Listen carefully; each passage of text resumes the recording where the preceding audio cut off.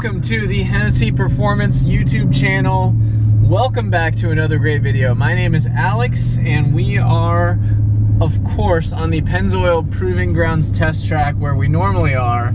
And we're gonna do some validation testing on one of our world famous Velociraptor V8s. And if you haven't heard, you should read up on it because these things are pretty awesome. Um, we're doing the shop vlog today, so this is kind of an inside look behind the scenes, unscripted part of Hennessey Performance. So I'm with Emma. She's behind the camera. hey guys, not and, in front of the camera today. And uh, we're gonna do some validation testing on this V8. And basically what the Velociraptor V8 is exactly what it sounds like. We are taking a second generation Raptor. We're taking the V6 out of it and we're putting a five liter Coyote V8 with a supercharger supercharger on it. So it's going from 450 horsepower to 750 horsepower, uh, and it sounds way cooler than the V6. No offense to anybody who loves the V6, but the V8 is just better. So we're the only people in the world who are doing this swap.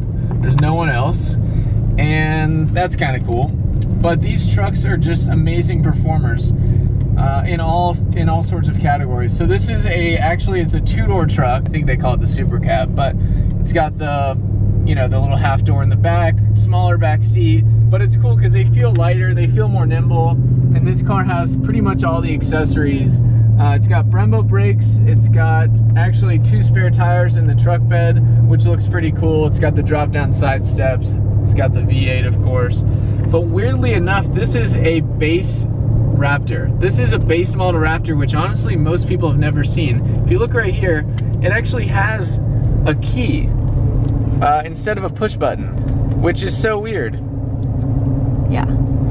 And even like the seats. Yeah, I've never is, seen these seats before. This is a base model These are Raptor cloth. with cloth seats, which yeah. I promise you, you've probably never seen this before because no one orders them like this. You have to special order it because no dealer is going to inventory a base model Raptor because just no one is going to get it. Yeah. Uh, so yeah, super weird, but it's still an amazingly cool truck because it's got a V8 in it. Oh yeah, that's awesome. It's pretty nimble too.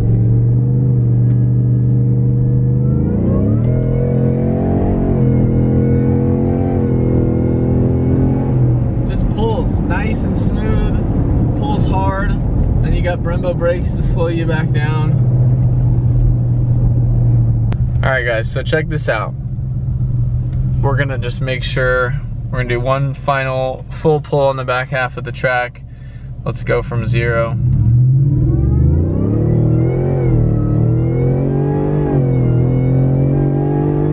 I wish you guys could feel this. We're in a truck, it's crazy. There's a hundred. There's 110, just like that. In a big pickup truck, and then you've got Brembos to slow you back down.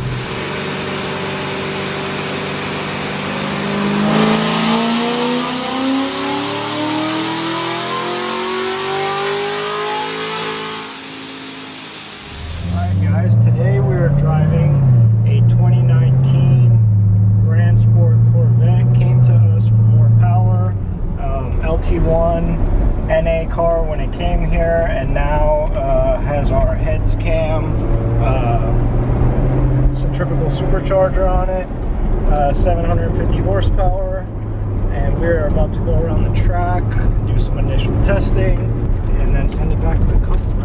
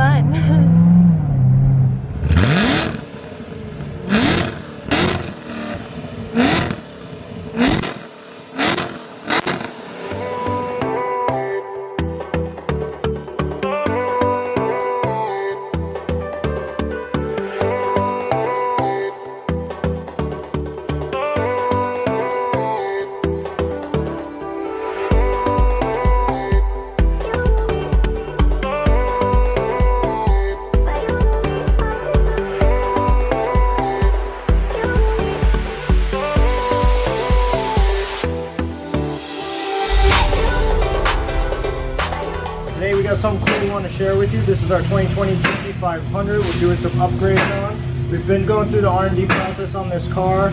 As we started making more power, we noticed that the stock clutch was starting to slip. So this is a stock unit right here, um, and we upgraded it with a billet unit that's right here installed on the transmission. This is the Tremec transmission that comes in the new GT500. Kind of experimental. We're just trying it out, see if it'll work.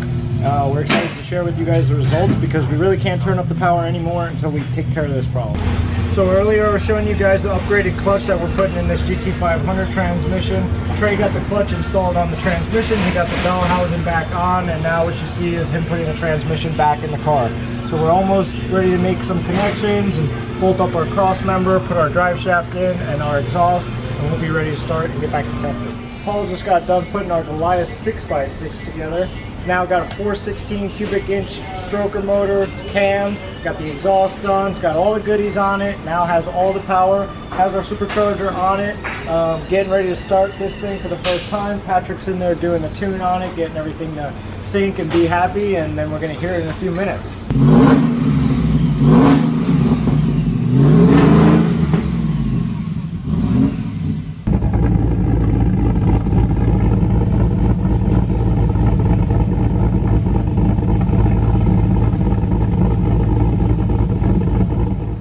Paul here.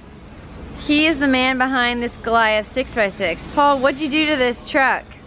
Oh, well basically Jerry took it all apart um, and I got to put it back together. put a, a 416 supercharged uh, engine combination in, in it. Um, first of its kind. Uh, really excited to see what it'll do. Um, with the 6x6 I think this thing would be a beast yeah. anywhere it goes. So, um, Patrick right now is in there uh, putting the calibration in, so we'll see. Uh, we'll see where it goes. We're excited. Guys, this thing is huge. Yeah. Look at how tall this truck actually is. Jerry, how tall are you? Six two. Paul, how tall are you? Five six. Okay. And this thing is up to right under my chest. Yeah. The wheel well. Crazy. So my hand is almost in line with the fender. This truck is obviously really long.